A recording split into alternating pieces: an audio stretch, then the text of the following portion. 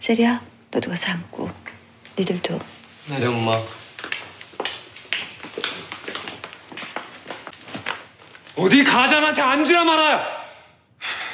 얘기해 그냥.